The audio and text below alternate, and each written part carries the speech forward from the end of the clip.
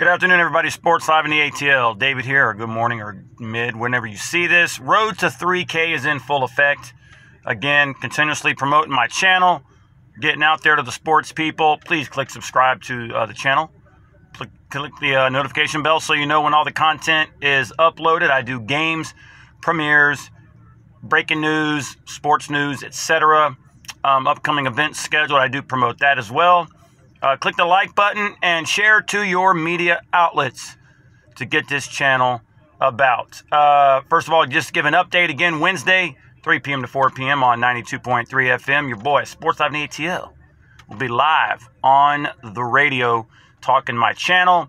I tell you guys, I, I have worked really hard uh, all these years um, with my channel, putting up with a lot of stuff. And this right here is, is something that uh, I'm not going to say well deserved. I'm humble and I'm very appreciative to 92.3 and Latasha Gibbons for giving me this opportunity, her reaching out to me uh, to get on the show. It's something that, uh, like I said, I'm a sports fan. I love my teams.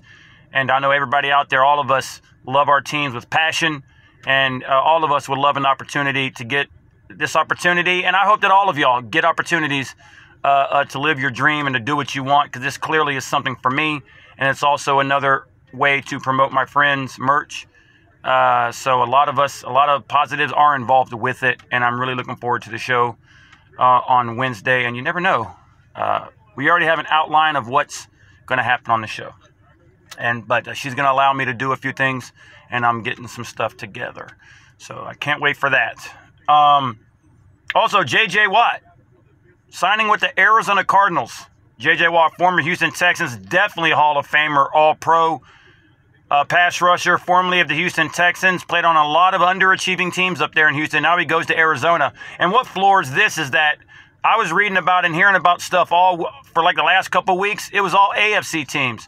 So the Arizona Cardinals just got better. And to take just a little what if, if Thomas Dimitroff and his boneheaded self didn't overplay, overpay players like Desmond Trufant, Devonta Freeman, Vic Beasley, and some of these other guys, we definitely would have made a play for J.J. Watt. See, this is what aggravates me. This organization throws money at the wrong people. Devonta Freeman didn't really make an impact. Desmond Trufant didn't really make a, an impact. Vic Beasley surely as hell didn't make an impact. Dante Fowler on a one-year deal, whatever it is, two years, whatever, hasn't made an impact. We waste money and then you waste opportunities to get a lot better. J.J. Watt would have been big on this defense. Trust me. I, like I said, I'm not a crystal ball kind of guy, but I would bet if the Falcons didn't overpay all these players through this year and we had plenty in the salary cap, we would have made a play. I'm not saying we would have got him, but we would have been in the conversation, and I'm pretty sure he would have looked at it. But oh no, this organization doesn't know how to spend money. And so now another team in the NFC that we might have to go through if we can get our act together and get back in the playoffs we have to contend with somebody else. Makes me so angry. You know, it does. So, but JJ Watt, good luck over there in uh, Arizona against the Cardinals. Uh, everybody in the NFC West is going to have some issues, as if they already haven't with some of the guys that they have over there. So, uh, Atlanta Hawks. Wow, you, you you guys cease to amaze me. I'm sorry, never cease to amaze me. Lloyd Pierce, you need to be fired, sir. Another close loss in a tight ball game in the fourth quarter. Every time, and I said this before, unless the Atlanta Hawks are blowing out opponents or getting blown out, you already know what's going to happen. In the fourth quarter, you're praying that the Hawks can start pulling away from a team because if they're close with the two or three or four, two or three minutes to go, they blow up. And I mean, they blow up looking bad. What are we doing after these timeouts, man? Coming out, uh, fighting your way back to a game you probably never should have been in because the Heat, after the late first quarter, just controlled this ball game. We had no defense. Interior defense stunk. The paint stunk.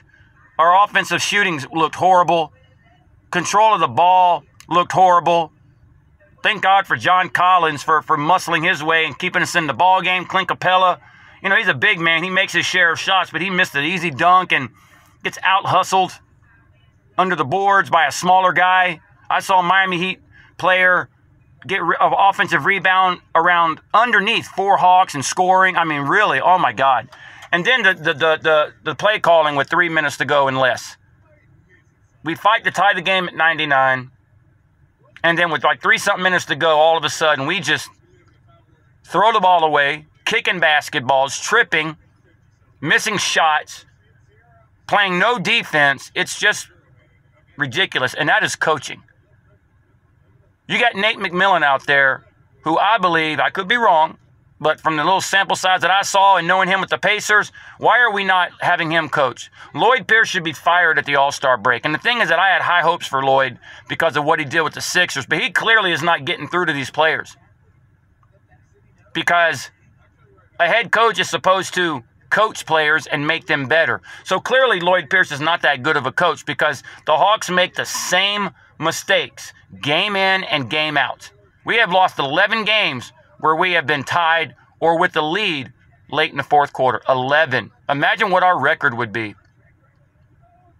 Lloyd Pierce is supposed to fix this. That's what he's getting paid to do. He's getting paid to, to make the right calls, to put these uh, players in position on defense to make stops. They look like they're standing around there just like old folks. It's embarrassing. Are, are y'all watching what I'm seeing? I mean, they're not even they're not even contesting. And when they are contesting earlier, early in the game, in first, second, and third quarter, they're having some good stops, but they can't capitalize. They look lost out there, especially in crunch time. Do you you want to be a playoff team, right?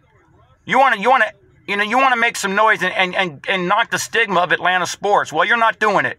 You're just adding to the proverbial choke label that this city goes through year in and year out with all of its teams. It's it's mind-boggling to me. It's utterly ridiculous.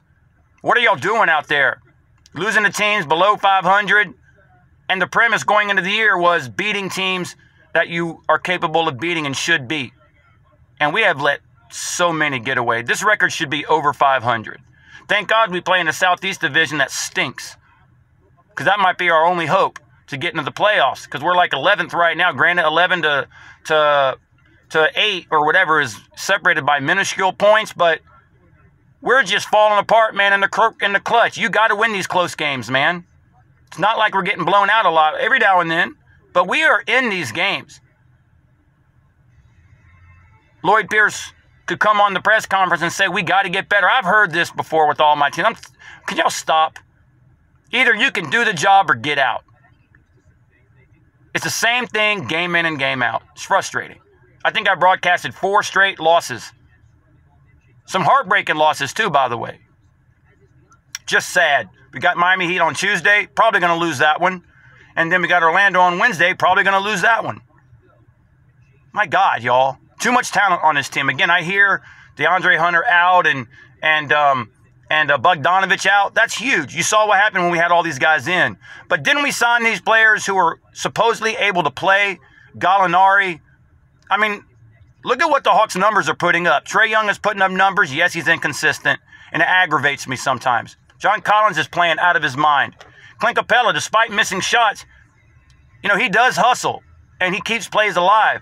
Tony Snell's coming in, popping threes. Kevin Huerter's up and down, but he's, he's a guy that clearly can stretch the court. Solomon Hill, when he's on, he's scoring. You know, we got a lot of youngsters coming in and making plays. We just can't close the game out. I'm not going to speak for other Hawks fans, but I'm not going to use that injury excuse because we are have been in these ball games with with Bogdanovich and um and with, with Bogdanovich and Hunter out.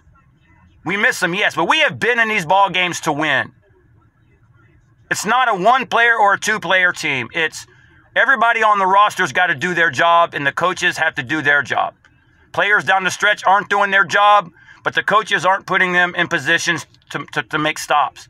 It's like they're just drawing up, hey guys, uh, sandlot basketball. You just go out there and do your thing and hope you can stop these guys. what is the point of battling back in close games, getting your fan base up, just constantly let, let them down, and then you guys get upset when the media or when fans on Twitter comment negative about y'all? and you're like, hey, y'all aren't supposed to do that. Yeah, we are because we're wasting our time talking about you. We're broadcasting you. We're buying the merchandise. We're watching it on TV, wasting electricity. And when games were able to were open, we were able to go to these games. I remember I went to a lot of Hawks games with Kyle Korver and and uh, you know Paul Millsap a couple years back. Right, we have every right to speak on on, on the failures of, uh, uh, of you guys and the positives.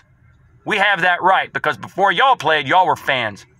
Y'all are embarrassing Atlanta as if we'd already have enough embarrassment already. Oh my God, y'all. That was disgusting to watch. But, anyways, we'll go for another helping. Excuse me, sir, can I have some more?